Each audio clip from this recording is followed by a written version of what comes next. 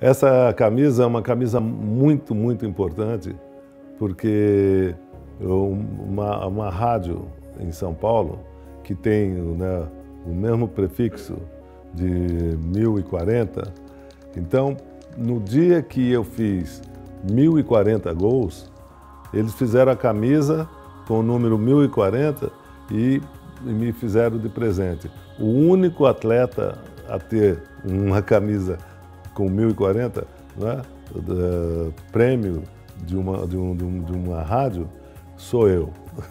E essa camisa aí é a única camisa que tem no mundo de uma rádio 1040 e que eu fiz o meu milésimo e 40 gol. Então é uma coisa muito importante.